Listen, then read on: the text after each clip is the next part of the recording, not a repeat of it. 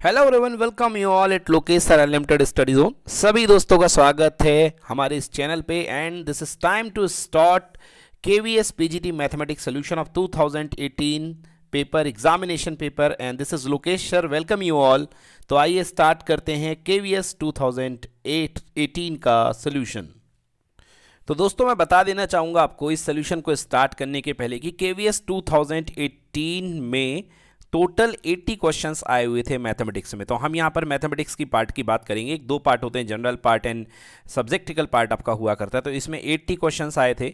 और यहाँ इस सीरीज़ में हम आपके सामने पूरे 80 के 80 क्वेश्चंस का सोल्यूशन बहुत ही आसान तरीके से आपके सामने लाने वाले हैं। सो लेट्स स्टार्ट ओके आइए तो देखते हैं सबसे पहला question.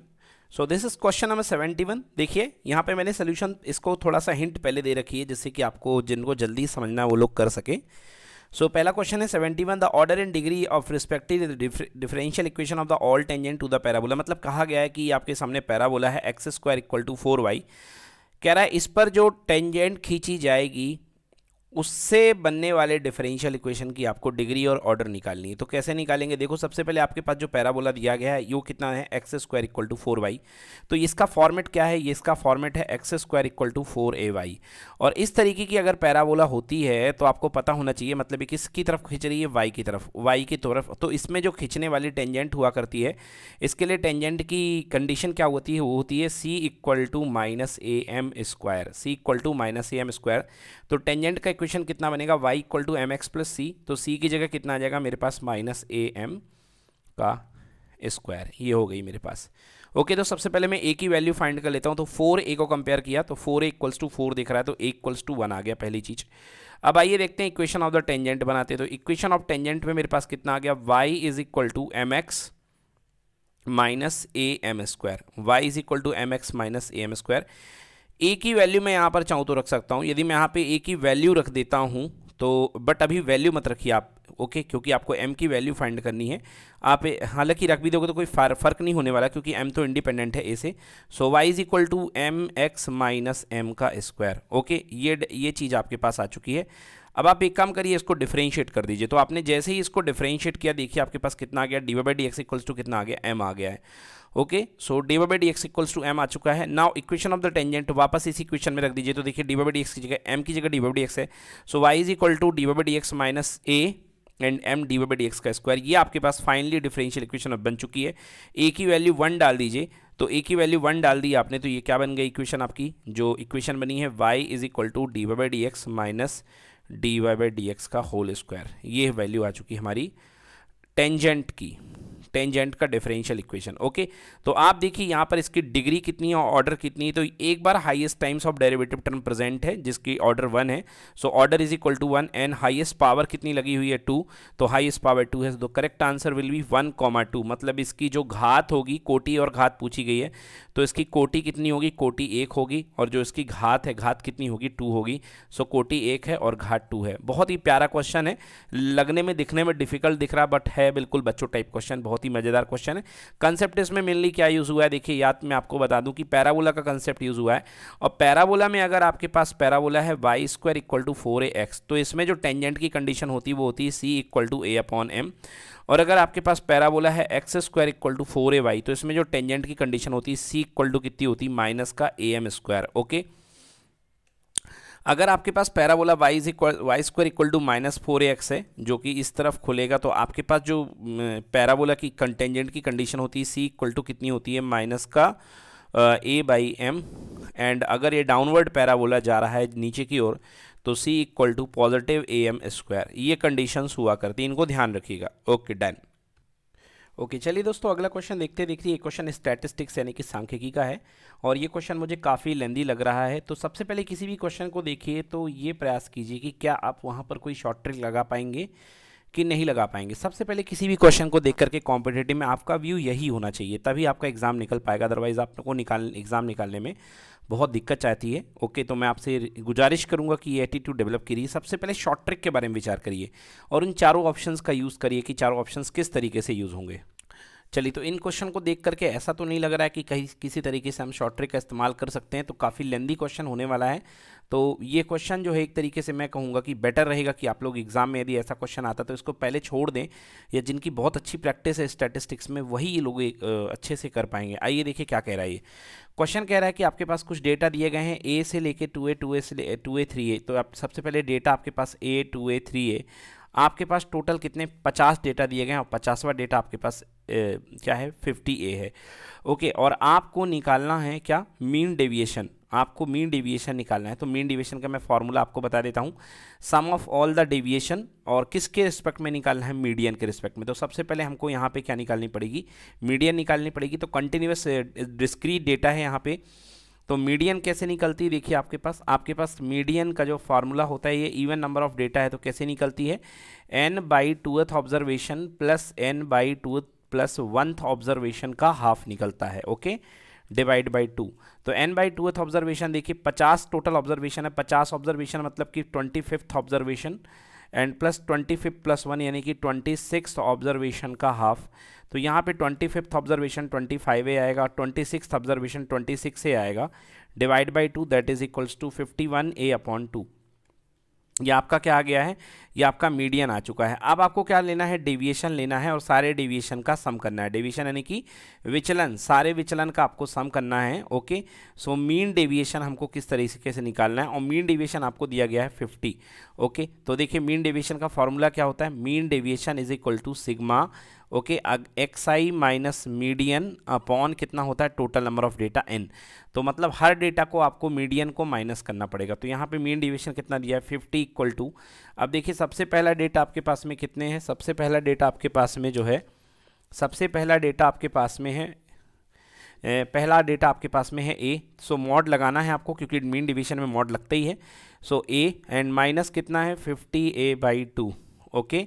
Then इसके बाद अगला डेटा आपके पास में कितना है? टू ए यहाँ पे देखिए थोड़ी सी मिस्टेक हो गई इसको सही कर लीजिए fifty a okay done so a minus fifty one a आएगा सॉरी यहाँ फिफ्टी लिख रहे हैं भाई। ये मिस्टेक मत करिएगा बहुत ज़्यादा नुकसान होता है इन मिस्टेक से मुझसे तक हो जाती हैं। कई बार काफ़ी सारे स्टेप करने के बाद पता चलती है तो बहुत दुख होता है। सो so, अगला है two a minus fifty one a upon two इस तरीके से चलते जाएँगे चलते जाएँगे।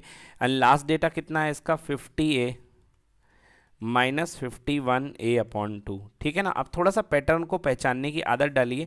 अपॉन में टोटल नंबर ऑफ़ डेटा कितने हैं? फिफ्टी है। तो मैं एक काम करता हूँ, यहाँ से फिफ्टी को हटाता हूँ और यहाँ पे फिफ्टी का मल्टीप्लाई कर देता हूँ, जिससे कि हमको काफ़ी सारी जगह मिल जाएगी। फिफ्टी हंड्रेड अब देखिए, यदि मैं इसको सॉल्व करता हूँ तो two into a fifty a two two a हो गया। एंड ये कितना आएगा? ये आएगा forty nine a upon two क्योंकि मॉड है तो निगेटिव प्लस आ गया। टू टू जा कितना हो गया? Four four minus fifty one that is equal to fifty seven a by two okay then इसके बाद कितना आएगा? चलते चलते चलते चलते चलते चलते, इस तरीके से देखिए। आपके पास में ये टर्म जो लास्ट की बचेगी two into fifty okay two into fifty that is equal to again forty nine a by two मतलब आपको क्या समझ में आ रहा है कि टर्म रिपीट हो रहे हैं okay so twenty five hundred equals to two times two times of देखिए टू टाइम्स क्योंकि ये भी दो बार है, ये भी दो बार है सो ये forty nine a by two तो जा कर के ये फिर forty seven a by two मतलब ऑड सब्ट्रैक्शंस हो रहे हैं तो ऑड सब्ट्रैक्शंस देखिए कहाँ पे रुकेगा three a by two and last में आपके पास कितना आएगा ए बाई टू इस तरीके से ऑड सब्ट्रैक्शंस जा करके कहाँ पे रुकेगा ए बाई टू पे ओके पच्चीसवें और छब्बीसवें नंबर टर्म पे ये जा करके रुकेगा। अब देखिए अब यहाँ पे आप क्या करिए, यहाँ पे आप कॉमन ले लीजिए टू और टू ऊपर और नीचे से कॉमन लेके कैंसिल कर देंगे और साथ में ए कॉमन ले लेंगे। तो आपके पास देखिए one plus three plus five plus dot dot dot dot dot dot up to कितना? फोर्टी नाइन तो टू से टू कैंसिल कर दीजिए। Now twenty five hundred equals to a multiply by odd natural number का sum total numbers कितने यहाँ पे twenty five हैं। तो सॉरी सॉरी हाँ एग्जैक्टली ट्वेंटी फाइव ही हैं। क्योंकि वन थ्री ऑल्टरनेट है ना फोर्टी नाइन तक तो पचास पचास नंबर में पच्चीस इवन पच्चीस और तो पच्चीस दिए गए हैं। तो क्या होता है ऑड नेचुरल नंबर का स्क्वायर एन स्क्वायर मीन्स पच्चीस इंटू पच्चीस। तो देखिए, पच्चीस से तो पच्चीस के टर्म कैंसिल हो गए, बच गया कितना? सौ। तो a is equal to hundred upon twenty five that is equals to four तो आंसर ए की वैल्यू कितनी आ रही है यहाँ पे? फोर आ रही है। आप समझ सकते हैं कि इस क्वेश्चन को अगर आप हाथ भी लगा रहे हैं तो आपका बहुत सारा समय ले रहा है। जिनकी बड़ी खंग, अच्छी प्रैक्टिस है धुआंधार टाइप की, वो ही इस क्वेश्चन को सॉल्व करें, अदरवाइज़ ये आपको ले डूबेगा। तो मतलब हर क्वेश्चन करने के लिए नहीं आता। कॉम्पिटेटिव में ध्यान रखें कि हर गेंद खेलने के लिए नहीं बनी होती। जैसे क्रिकेट में कुछ गेंदों को आपको रोकना भी पड़ता है। ऐसे ही कॉम्पिटेटिव एग्ज़ाम में ही कुछ क्वेश्चन से अगर आप उलझ रहे हैं तो आपके नंबर कटेंगे। तो प्लीज़ इस चीज़ का ध्यान रखिएगा। ओके डन ओके गाइस तो चलिए नेक्स्ट क्वेश्चन पे देखते हैं। देखिए अगला क्वेश्चन यहाँ पे दिया गया है। स्ट्रेट लाइन का क्वेश्चन है ये।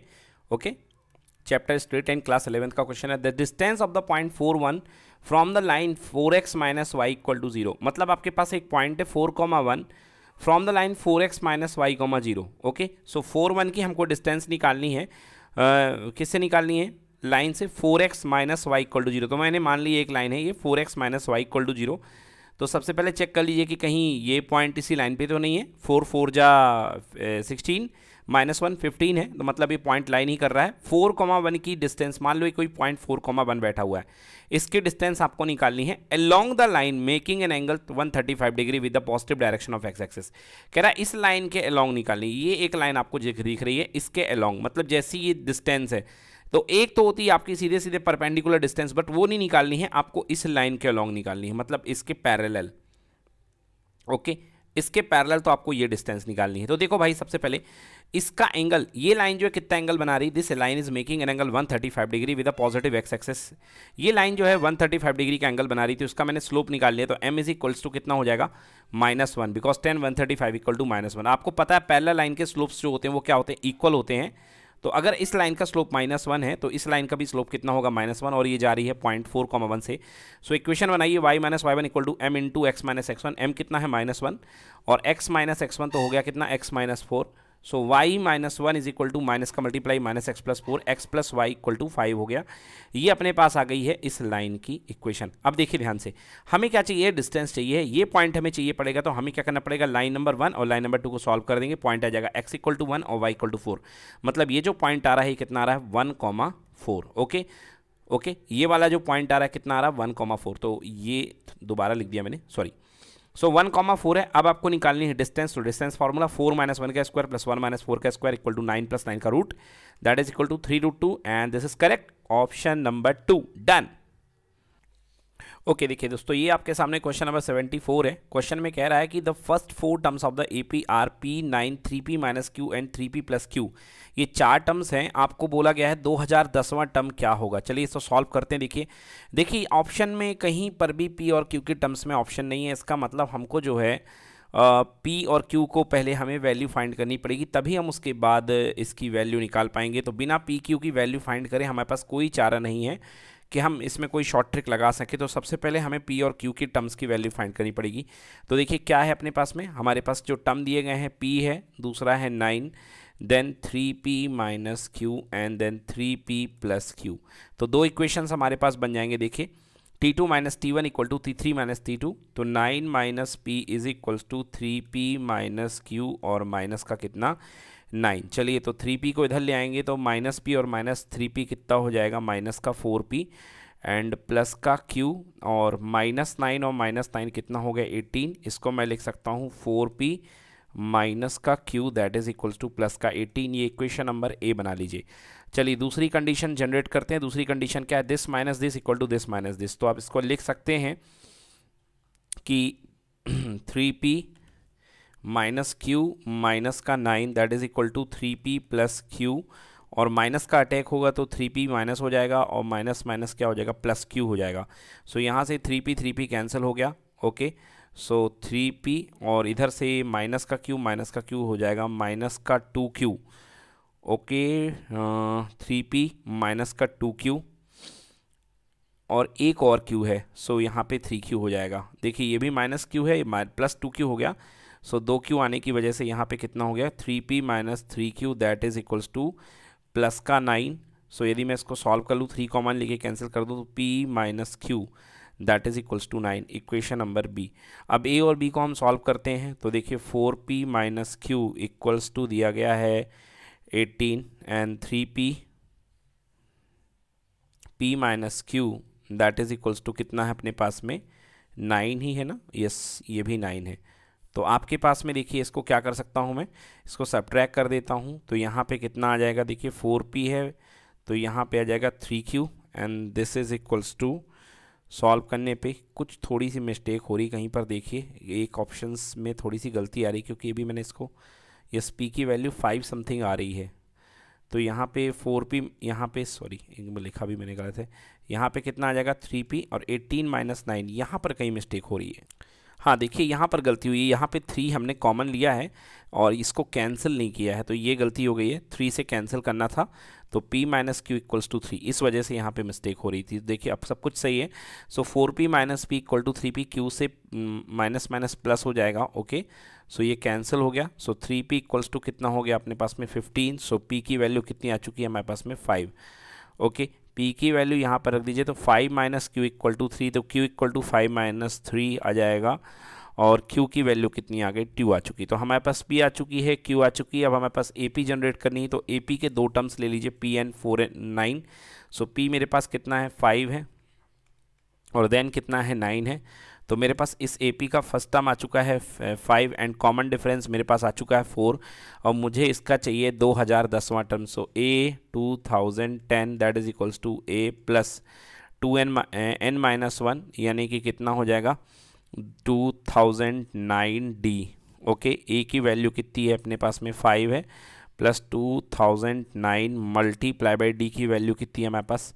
डी की value d is equals to मेरे पास आया है फोर ओके बिकॉज़ पहला टर्म नाइन है एंड देन सॉरी पहला टर्म फाइव है देन नाइन है सो so यहाँ पे फोर आ चुका है। चलिए सॉल्व करते हैं। सो सो सो कुछ गड़बड़ हो रहा है। A plus n minus one into d okay a plus n minus one into d so first term हमारे पास पी की वैल्यू कितनी है? फाइव है ओके एंड देन सेकेंड हमारे पास आ रही है नाइन सो so, अब हमें इसको सॉल्व करना पड़ेगा।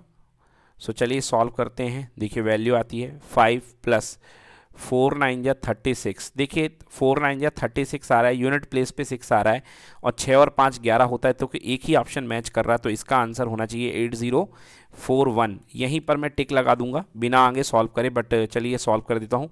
फोर नाइन या थर्टी सिक्स कैरी आई थ्री तो ज़ीरो प्लस थ्री हो जाएगा ज़ीरो हो जाएगा एट सो आंसर कितना आ गया? Eight zero four one is the correct answer done okay चलिए फ्रेंड्स ये देखिए अगला क्वेश्चन है. This is question number seventy five okay कहा गया है sine sine x plus i cos two x and cos x minus i sine two x are conjugate of each other then आपको कहा गया एक दूसरे के कॉन्जुगेट है so I can write this sine x plus i cos two x is the conjugate of the other one cos x minus i sine two x तो compare कर दिए, इसको सॉल्व किया पहले sine x plus i cos two x equal to cos x plus i sine two x अब देखिए real part real part equal होंगे और imaginary part imaginary part equal होंगे. So sine x equal to cos x करने पर आया tan x equals to one and cos two x equal to sine two x करने पर आया tan x equals to one तो अब हमारे पास हमें ऐसा सोल्यूशन चाहिए है जो दोनों ही आइडेंटिटी को सेटिस्फाई करे, दोनों ही क्वेश्चंस को क्या करे? सेटिस्फाई करें। तो चलिए ऑप्शन से दिखाते देखिए एक्स इक्वल टू ज़ीरो पर ये टेन ज़ीरो हो जाएगा तो ये तो सेटिस्फाई नहीं कर रहा है। अच्छा एक्स इक्वल टू वन डालते हैं। तो x equal to one x कह रहा है कि देन सोल्यूशंस पूछ रहा है x की वैल्यू क्या होगी। देखिए, x इक्वल टू वन में एक बनेगा टेन वन और एक बनेगा tan two equal to one तो ये भी गलत है भाई टेन वन की वैल्यू वन नहीं होती तो ये भी गलत हो गया। Then x equal to n pi अगर मैं एन पाई डालूँगा तो देखिए, x equal to n pi पे जैसे x equal to n pi पे मैं डालता हूँ तो x equal to n pi पे x की जगह आप जो है एन की जगह आप वन ले लीजिए ओके? एक्स की जगह आप वन ले लीजिए या टू ले लीजिए कुछ भी ले लीजिए तो सारे केसेस के लिए देखिए टेन एन पाई कितना आता है? ज़ीरो आता है। तो अगर इन आंसर में ज़ीरो होता तो एन पाई आंसर हो सकता था बट अभी आंसर नहीं होगा क्योंकि राइट साइड में आपको वन चाहिए है okay? Then last option two n plus one pi by four तो एन की वैल्यू ज़ीरो ले लेता हूँ मैं सो so, कितना आ जाएगा? पाई बाई फोर तो टेन पाई बाई फोर तो वन हो गया। But ten two pi by four यानी कि ten pi by two infinity हो जाएगा तो सोल्यूशन नहीं तो देखा जाए तो इसमें चारों ऑप्शंस गलत हैं। इसका आंसर इस पर्टिकुलर आंसर होना चाहिए था। एक और आंसर नन ऑफ़ दिस तो इसका आंसर होगा नन ऑफ़ दिस क्योंकि कोई भी आंसर यहाँ पर सही नहीं है। Done okay next question question number seventy six जो कि परमोटेशन एंड कॉम्बिनेशन का देखिए क्या कह रहा है। A candidate is required to answer seven question out of twelve question बारह क्वेश्चन में से सात क्वेश्चन किसी परीक्षार्थी को अटेम्प्ट करने हैं।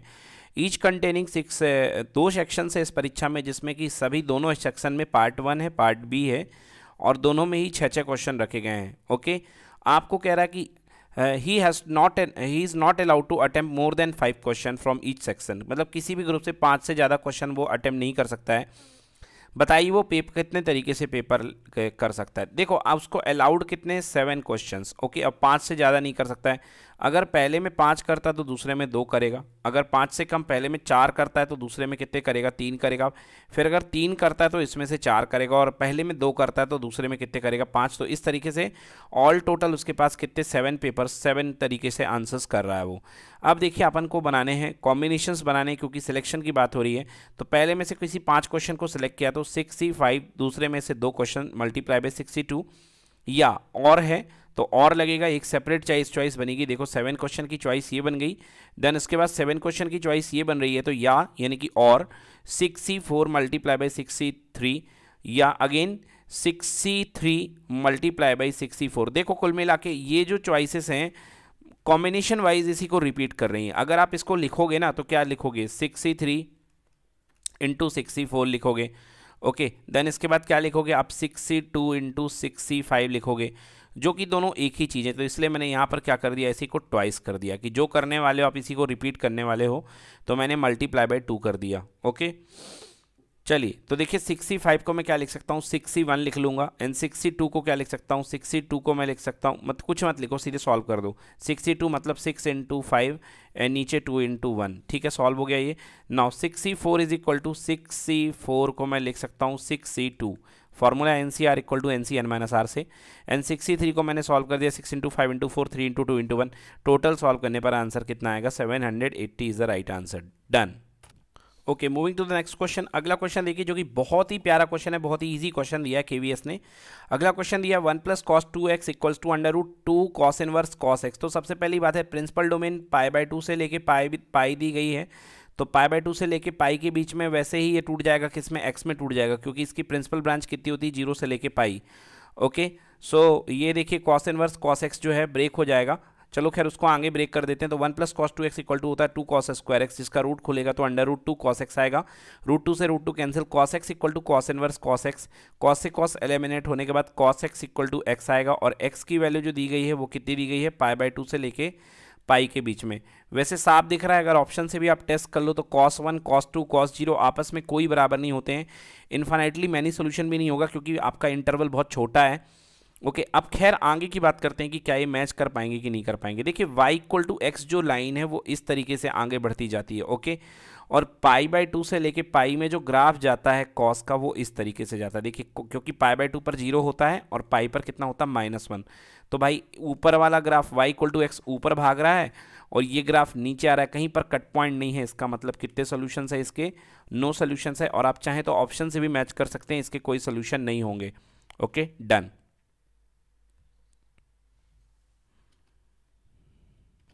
दोस्तों, मैं एक बात बता दूँ आपको कि यहाँ पर बोला गया है कि नंबर ऑफ़ रियल सोल्यूशन इसलिए आप एक्स के प्लेस पे इनको ना पुट करके देखें, क्योंकि यहाँ पर हलों की संख्या मांगी गई है। ये देखिए, हिंदी में लिखा है। नंबर ऑफ़ सोल्यूशंस पूछे गए, हलों की संख्या मांगी गई है। तो क्या है, जल्दबाजी में ये नहीं कि आप इनको पुट करके देखने लग जाएँ। जैसे मैंने अभी पुट कर दिया था तो वो गलत मैंने पुट किया। मेरे को लगा कि हल पूछे गए हैं। सो मैंने जैसे भी पुट किया ना कि एक्स इक्वल टू वन तो सॉरी उसके लिए सॉरी बोलूँगा। और प्लीज़ वैसा नहीं करिएगा, क्योंकि हलों की संख्या पूछी गई है। ये नहीं बोला गया कि मतलब कि हल दिए गए हैं, इसमें बताओ हल कौन सा है। सो हालाँकि किस्मत से ये बात सही है कि अभी मैच नहीं हो रहा है यहाँ पे। तो यहाँ पर देखा जाए तो ऑप्शन में क्या हलों की संख्या को नो सोल्यूशन तो आंसर यहाँ पे क्या आएगा ज़ीरो आएगा ओके यहाँ पे कोई हल नहीं है तो आंसर यहाँ पे ज़ीरो आएगा बट आप पुट करके देखोगे तो cos zero equal to zero ये गलत हो रहा है मतलब मेरे कहने का मतलब है, हलों की संख्या पर विचार करना, हल नहीं है यहाँ पे ओके इसलिए ये, यहाँ पे हलों की संख्या देखनी है आपको डन चलिए, अगला क्वेश्चन देखिए, कहा गया the range of the function this one क्या होगी? तो सबसे पहले individual function sine two x जो होता है that is between minus one two plus one अब देखो, हमको इसको निगेटिव करना है तो माइनस साइन टू एक्स भी माइनस वन से लेके प्लस वन के बीच में जाएगा। फिर इसके बाद फोर से सब्ट्रैक कर दो four minus sine two x जो है, वो आपके पास कितना जाएगा? वो जाएगा आपके यहाँ थ्री से लेकर के थ्री से लेकर के, क्योंकि आपने फोर ऐड कर दिया तो फोर माइनस वन थ्री है। थ्री से लेकर के फाइव में जाएगा और इसको आप रेसिप्रोकल कर दीजिए तो one upon four minus three x तो क्या हो जाएगा? वन अपॉन फाइव और वन अपॉन थ्री तो छोटी वैल्यू क्या है? वन अपॉन फाइव तो वन अपॉन फाइव से बड़ा होगा और वन अपॉन थ्री से छोटा होगा। So the y is between one upon five two one upon three. Done तो आंसर इसका कितना होगा?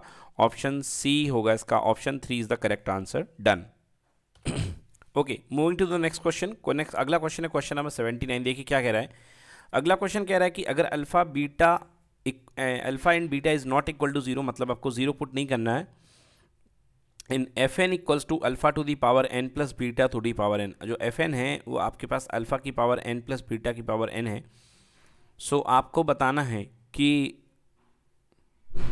आपको बताना है कि ये जो एक्सप्रेशन है इसकी वैल्यू क्या होगी? जहाँ पर आपको दिया गया है कि यहाँ पर आपको दिया गया देखिए एफ़ एन की वैल्यू ये दी गई है।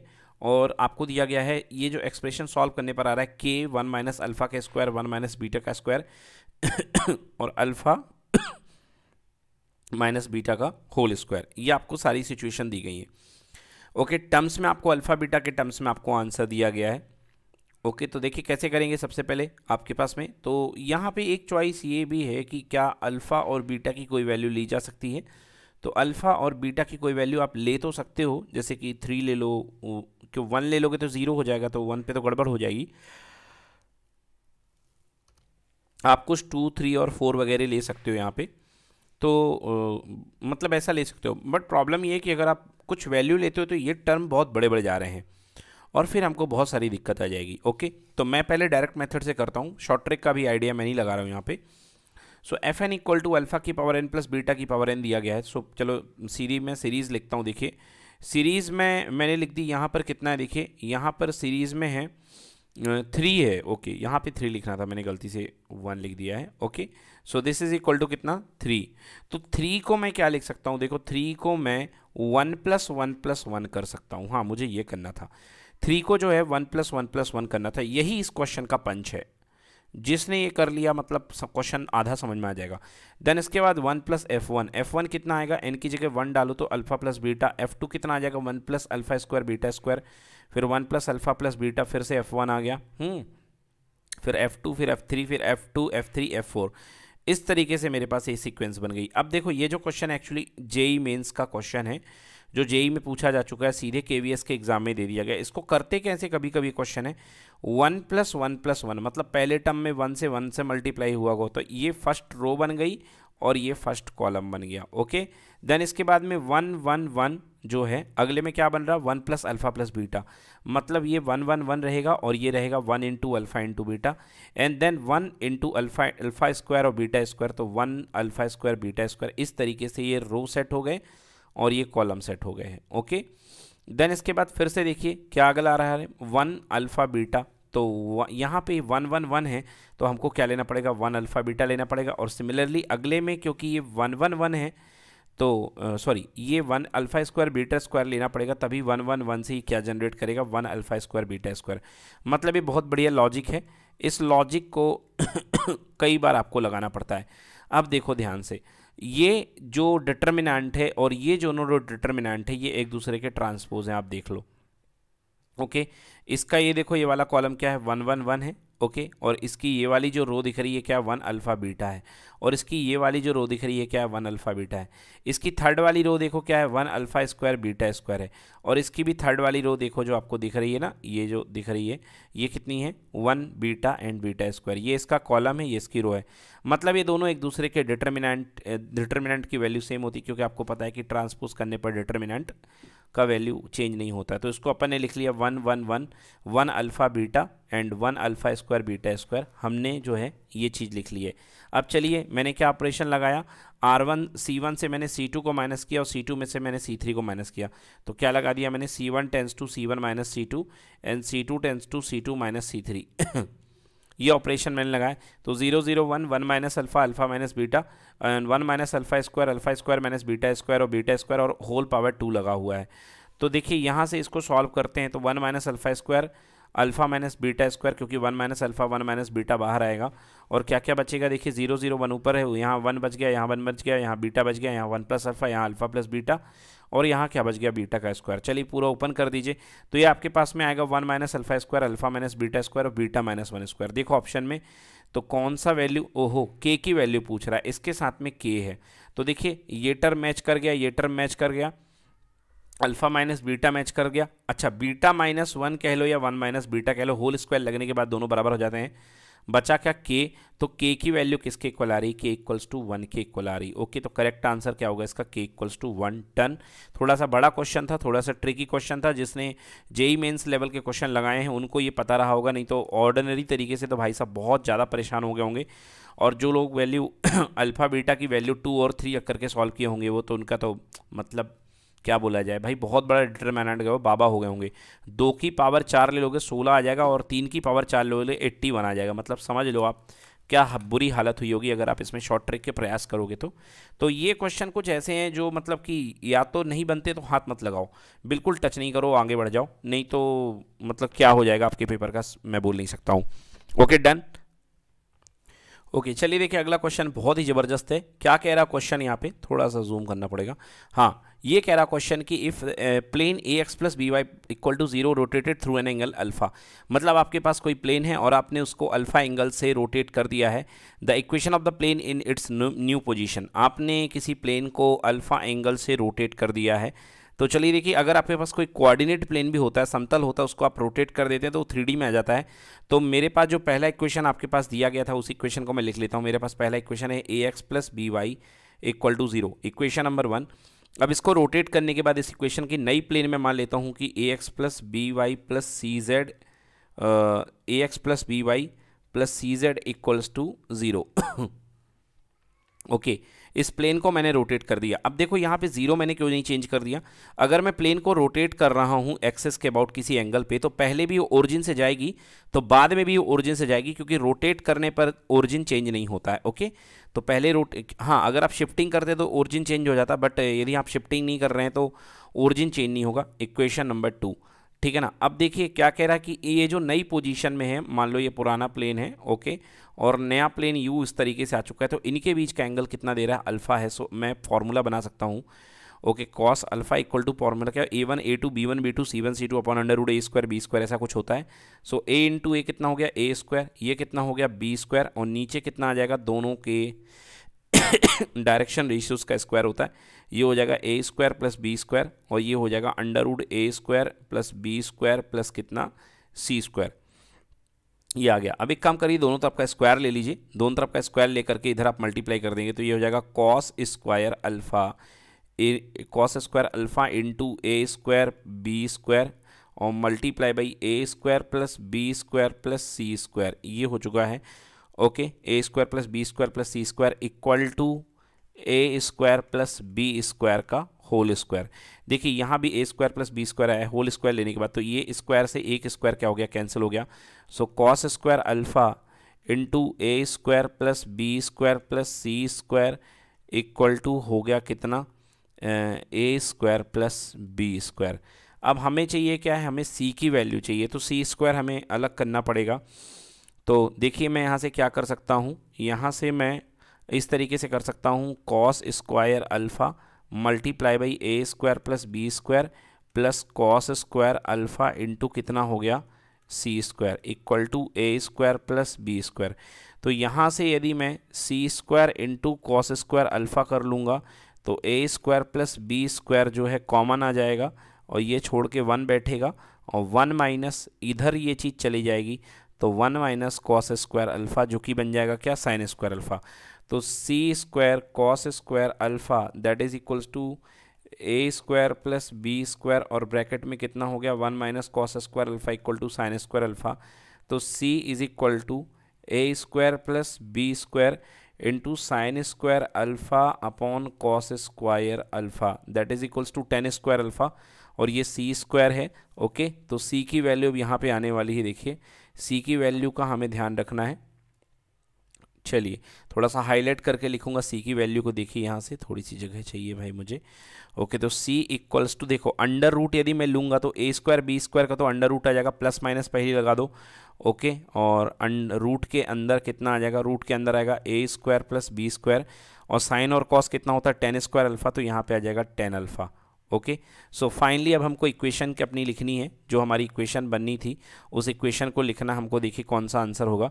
तो हमारे पास जो इक्वेशन बनेगी प्लेन की, यहाँ से प्लेन की इक्वेशन बनेगी। देखिए, क्या बनेगी? यहाँ मैं लिख देता हूँ ये प्लेन की equation a x plus b y plus c c की वैल्यू कितने पा आई है? मेरे पास दो आई हैं प्लस एंड माइनस बट देखिए, यहाँ पे सबके सब इक्वेशन प्लस में है तो मैं भी प्लस में लूँगा जेड मल्टीप्लाई बाई सी मेरे को निकालना है तो सी कितना आएगा? Under root a square plus b square और टेन अल्फ़ा तो ये तो माइनस वाला है, ये भी गया, ये भी गया ओके और ये कॉस अल्फ़ा में है तो ये भी गया तो करेक्ट आंसर कौन सा होगा? A is the correct option इसका आंसर है a x plus b y plus z under root a square plus b square tan alpha that's it done okay?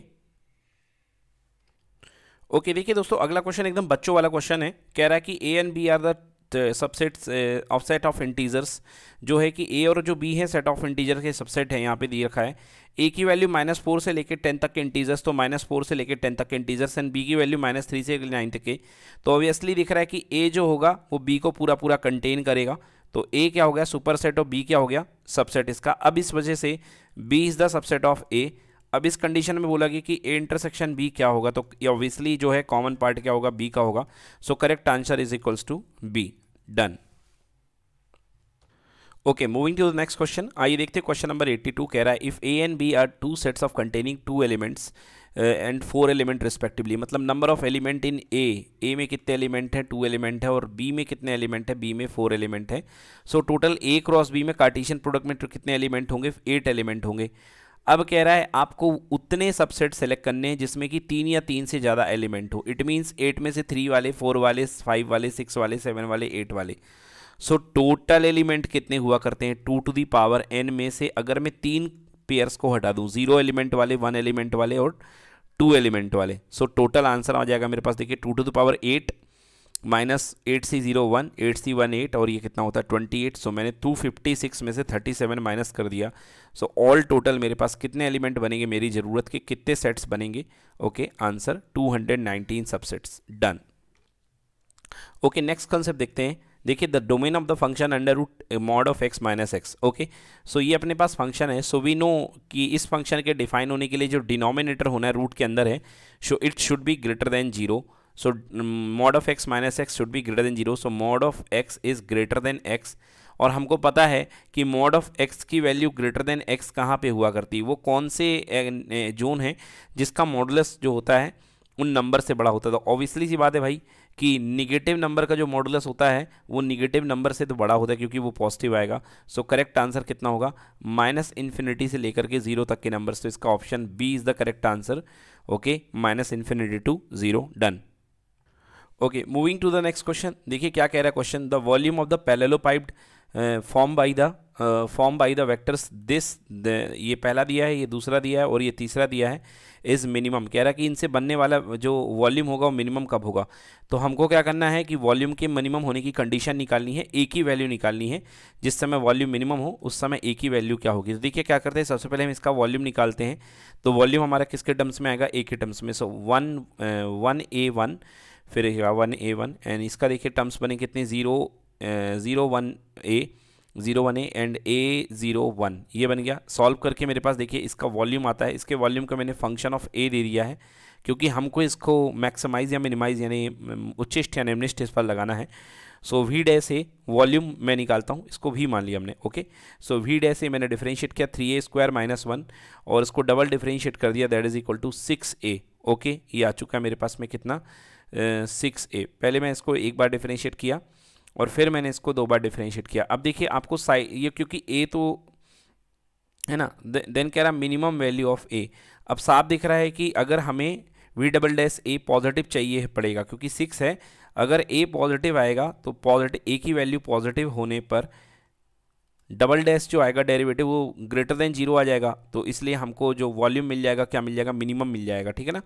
तो मिनिमम के लिए क्या करेंगे? कंडीशन अब चलिए V dash equal to zero तो three three a square minus one equal to zero so a equal to हमारे पास दो चॉइसेस आएँगी यहाँ पे। देखिए ए याद रखिएगा ए साइड्स नहीं है कि आप ए को साइड मान करके कह दें कि हमेशा पॉजिटिव है। नो नो ऐसा नहीं। देखिए ए स्क्वायर इक्वल टू यहाँ पे कितना आ गया? One by one by three आया okay so one by three so a equals to plus minus one by root three तो यहाँ पे दो केसेस बन गए ए के एक पॉजिटिव और एक निगेटिव अब देखिए, हमको, अगर हम यहाँ पे निगेटिव लेते हैं तो ये लेस देन ज़ीरो हो जाता मतलब वॉल्यूम क्या हो जाता? मैक्सिमम हो जाता। तो हमको तो मिनिमम करना है ना? क्वेश्चन ने किसके लिए बोला? मिनिमम के लिए बोला है। तो हमको यहाँ पे ए क्या लेना पड़ेगा? Positive so we can take a is equals to positive one by root three हालाँकि माइनस का ऑप्शन शायद किस्मत से नहीं दिया गया है। नहीं दिया गया, कोई बात नहीं, अच्छी बात है। सो आंसर होगा कितना? One by root three but यदि दो ऑप्शन होते हैं यहाँ पे plus one by root three minus one by root three तो आपको और चौकन्ना होता पता और आपको उस समय one by root three value put करनी पड़ती। So this is done okay देखिए दोस्तों, अगला क्वेश्चन है कि ये आपके सामने एक मैट्राइसिस दिया गया है कि ए इक्वल्स टू इतना दिया गया है और आपको बी इक्वल्स टू इतना दिया गया है। कह रहा है, यदि बी ए का व्युतक्रम है तो बताइए, अल्फ़ा का मान क्या होगा? तो हम जानते हैं अगर बी और ए एक दूसरे के इन्वर्स होते हैं इन्वर्स की बात है so A into B equals to B into A equals to I so A की बी की तो मैं यहाँ से शुरू करूँगा बी इंटू ए का यूज़ करूँगा सो बी की value one upon ten and B की वैल्यू मैंने रख दी four two two okay minus five zero alpha and one minus two three and A की value one minus one one two one minus three and one one one equal to इतना है जी आई के बराबर है आई मतलब identity matrix okay तो अब देखिए, आपका अल्फ़ा कहाँ आपको वैल्यू किसके निकालनी है, अल्फ़ा की निकालनी है। तो यूज़ किसका करोगे? आपको इसी का यूज़ करना बाकी से कोई मतलब नहीं है। आप ये देखिए क्या दे रहा है। यदि ये सेकेंड रो है और ये फ़र्स्ट कॉलम है तो सेकेंड रो और फ़र्स्ट कॉलम का मल्टीप्लाई कितना मिल रहा है? आपको ज़ीरो मिल रहा है ओके तो ज़ीरो तभी मिलेगा जब इनका मल्टीप्लाई क्योंकि टेन तो डिनोमिनेटर में इफ़ेक्ट डालेगा नहीं। तो सीधे सीधे हमें क्या है? इसका, ये वाली रो का और इस वाले कॉलम का मल्टीप्लाई हमें कितना देखना है? ज़ीरो देखना है। तो minus five minus five multiply by one plus zero multiply by two on plus alpha multiply by one equal to कितना होना चाहिए? ज़ीरो होना चाहिए। So minus five plus alpha equals to zero हो गया। So alpha is equal to कितना हो गया? Plus five so done correct answer बिल्कुल alpha equal to plus five this is done so okay guys ये रहा आज का हमारा K V S P G T math solution two thousand eighteen का पहला पार्ट जो कि बहुत ही अच्छे तरीके से हमने इसका पहला पार्ट कंप्लीट किया है।